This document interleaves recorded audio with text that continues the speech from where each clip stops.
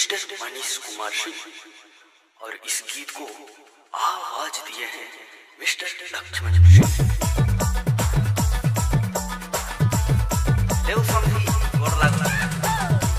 बात है समझी राजा?